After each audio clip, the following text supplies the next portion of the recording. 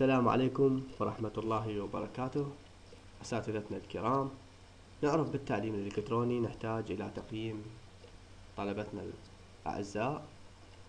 بالتالي اليوم ورشة عملنا بعنوان كيفية استخدام ال Google Classroom من قبل التدريسي في عمل نماذج جوجل لإجراء الاختبارات وطريقة تصحيحها. بالبداية نحتاج فقط إلى شيء من عندكم إنه تفتحون لنا صفحتين. جوجل تفتحون لنا صفحتين. الأولى هي حتكون لل Google Classroom لكل تدريسي. والثانية تكون خاصة بال Google Drive أيضا للتدريسي. نفتح ال Google Classroom ويكون عمل Google Classroom مع ال Google Drive معا. طيب. بالنسبة آه، للفرضا عندي هنا المرحلة الثانية عدد الطلبة 43 طالب نضغط على المادة الدراسية بالتالي راح أشوف هنا عندي ساحة المشاركات الواجب الدراسي classwork الأشخاص ال people وإلى آخره إذا أنا أطب على الواجب الدراسي. نحاول نستغل وقتنا وما تكون بها صعوبات على تدريسي. هنا عندي واجبات سابقة لطلبتي واجبات سابقة لطلبتي. فبالتالي إحنا راح طب على الإنشاء هذا الزائد الموجود الإنشاء وأطب على الفقرة الثالثة اللي هي توجيه الأسئلة بعلامة استفهام. فقرة توجيه الأسئلة. هنا عندي آه ال homework مثلا على سبيل المثال خلينا نقول quiz quiz number 1 طيب. هنا أنا عندي مثلا طلبتنا الأعزاء. تحية. طيبة الامتحان سيكون لمدة نصف ساعة. من الساعة السادسة إلى السادسة والنصف. مساء هنا نترك أيضا هذا بوست حيتوجه للطلبة. طيب هنا إيش عندي عندي الدرجة اللي على اليسار نسوي مثلا الكوز من عشرة. هنا أنا أيضا أحدد الوقت. مثلا اليوم ستة أحدد الوقت. و نجي على الوقت اللي هو وقت التسليم تمام الساعة السادسة والنصف. هسه توجهنا عندنا غدا الساعة السادسة والنصف مساء. معناها بعد السادسة والنصف مساء اللي حتجيني الأسئلة حتجيني ردود من قبل طلبة يعني ال Google Classroom حيكتب لي عليها متأخر. طيب. هذه الاختيارات تبقى للتدريسي. هل يمكن للطلاب الرد على بعضهم؟ يمكن للطلاب تعديل إجابة. بالتالي حاليا حفتح إنشاء المستند فأدخل على النماذج نموذج جوجل. فتحت هذا المستند. طيب شنو الغاية من عنده؟ صار فتحت النموذج. حيكون ك attachment لل post بالتالي حينفتح النموذج عندي وأقوم بالعملية كتابة صياغة وكتابة الأسئلة طيب أول ما أجي هذا هسه المفروض من انفتح هنا عندي اوتوماتيكيا ولازم ألقاه بال Google Drive فلو أسوي هنا Google Drive اللي هو نفسه مجلد Classroom اللي موجود أسوي له refresh حاليا لقيت النموذج بلا عنوان. إذا شو أسوي؟ أروح على نفس النموذج. أكتب مثلا Q number 1 اذا quiz رقم واحد. طيب شو أسوي؟ هنا أنا أيضا أسوي له refresh إيش حيبين عندي؟ بعد ما سوينا refresh بين عندي هنا Q number 1 اذا أي تغيير؟ راح يحصل هنا هو حيحصل هناك جيد. حاليا نجي نسوي الأسئلة نفس الحالة وصف النموذج. ممكن آخذ نفس ما كتبته بال post وأنقله بالوصف. حاليا نجي أول شي نضيف الاسم. نضيف فقرة. أنا عندي راح تطلع لي خيارات. هاي طبعا كل الأسئلة والفقرات منها. كلش واضحة. أروح على إجابة قصيرة لوش لأن نخلي الاسم الثلاثي للطالب. جيد. معنى هذا هنا حيكون إجابة الطالب. أي تغيير هنا حيكون هو اوتوماتيكيا حيكون بالاستمارة في الجوجل درايف. جيد. حاليا أضيف السؤال الأول على سبيل المثال. السؤال الأول.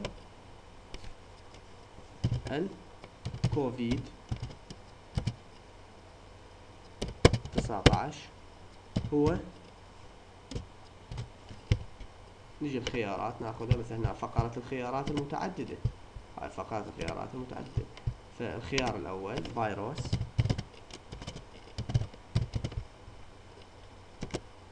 ثانيا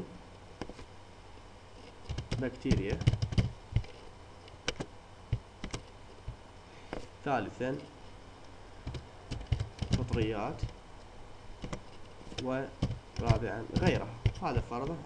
فلو نجي هنا على جوجل درايف هنا نسوي ريفرش أي شيء أي تغيير نسويه فنعمل أيضا هنا ريفرش حتى يتغير هنا أيضا عندنا. فشو نسوي حاليا؟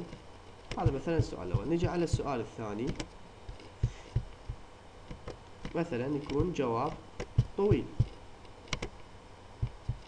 فنروح على إجابة طويلة نروح على الفقرة لأن إجابة طويلة. فهنا سؤال نقول ما هي أعراض فيروس كورونا؟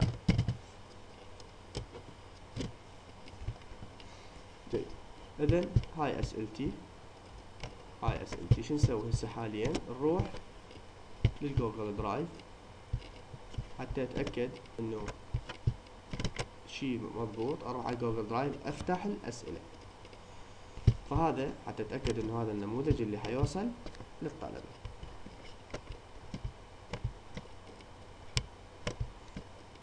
جيد. شو نسوي حاليا؟ أجي على النموذج اللي الأسئلة اللي دا أسويها اللي فاتحة من هذا من البوست نفسه.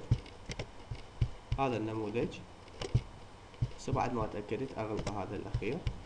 أجعل هذا النموذج وأعمل له إرسال. شنو إرسال؟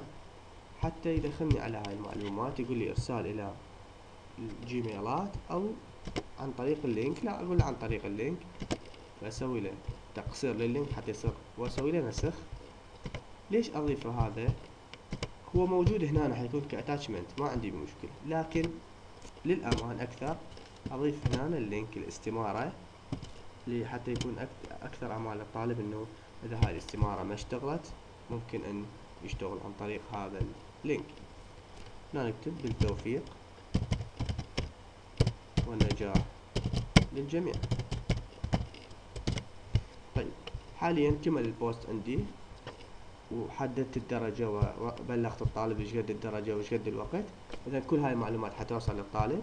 فمجرد إنه أضغط على سؤال يتم إرسال ال post وال attachment وال link وبالتالي حيبلش وقت الامتحان. مثلا الساعة ستة أرسلته خلاص. أما إذا أريد آه، أنا مسويها قبل فترة فممكن أنا احفظه كمسودة وبعدين أقوم بإرساله.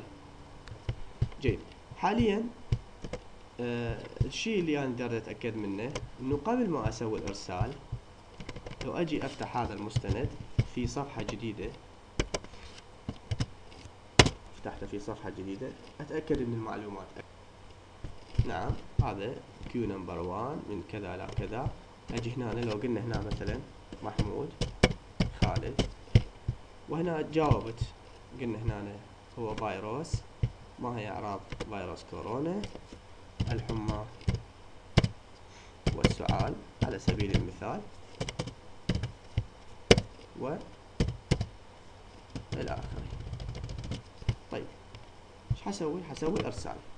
أنا طالب ارسلت حاليا للأستاذ تم إرسال إجابة. وأنا أروح أروح للجوجل درايف نفسه. هذا حاليا نفسه. هنا حتجيني الإجابات أو ممكن أدخل على نفس النموذج لكن بالجوجل درايف تكون محدد. مباشرة تتجه للجوجل درايف حيتم حفظ كل المعلومات في ملف ال classroom classroom الخاص بيك. حاليا شو أسوي؟ ورا ما أجي أفتح المستند. أو النموذج نموذج جوجل اللي هو الأسئلة. أكو هنا أنا عندي الردود. أروح على هذه الردود الأنسرز بالنسبة. بالأنسرز حيقول لي هنا ملخص حيطلع حيطلع لك كل سؤال وش قد نسبة الطلاب اللي مختارين الفيروس؟ قد نسبة الطلاب اللي مختارين بكتيريا وفطريات وغيرها. اذا وهنا أيضا حيكون شرح. وهنا السؤال عندك اللي هي هذا السؤال اللي هو من من الأشخاص اللي هم دازين لك إذا محمود خالد هو اللي أرسل للأستاذ. وعندنا هنا الاستمارات الفردية. لكل طالب حتكون استمارته واصلة وبالتالي بإمكانك إن هنا آه، أيضا تقلب راح تجي والاستمارات وردود يعني الإجابات بالنسبة للطلاب حتجيك آه، واحدة بعد الأخرى وبالتالي حتقوم بعملية التصحيح عن طريق آه، تسلسل الأوراق. جيد. اذا بعد ما يتم التصحيح أو بعد ما يتم جمع المعلومات أتجه إلى آخر فقرة. لو أجينا هنا على homework ات سابقة طب على هذا ال homework طبعا آه، أو ال quiz السابق. هنا عندي راح تطلع لي مجموعة من الفقرات. هنا راح تطلع لي فقرة الدرجات. تمت إضافة درجة أو لم يتم. إذا معناها أطب عليها. بعد ما تكون عندي معلومات كاملة عن ال... عن, عن تصحيح جميع الأوراق ممكن أضيف الدرجات للطالب. بالتالي هنا مباشرة لما أضغط هنا حيطلع لي قد من عشرة. فشقد أخذ الطالب؟ مباشرة أنقل الدرجة. طيب فش أسوي؟ مجرد أضيف الدرجة أحدد الطالب ويخيرني إعادة مباشرة أسوي له إعادة إرسال. يعني شنو؟ هذا مجرد ما أخلي الدرجة هنا أحدد هذا وأسوي له اعادة معناها أقوم بإعادة إرسال الدرجة إلى الطالب وتبليغه إنه هل قد درجته. هاي مجموعة من الطلاب اللي تم تبليغهم اللي حاضرين بالامتحان مجموعة كبيرة من الطلاب وبالتالي تم تبليغهم بعد إكمال الامتحان. نتمنى أنه آه، استفادينا بشيء بسيط من آه، هذه الورشة البسيطة. فبالتأكيد هي حتخدم الجميع. شكرا جزيلا لكم. ولحسن إصغائكم